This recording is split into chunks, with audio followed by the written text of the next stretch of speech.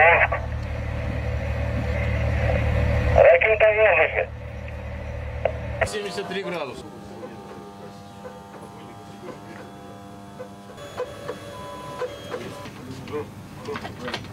Знаешь, они...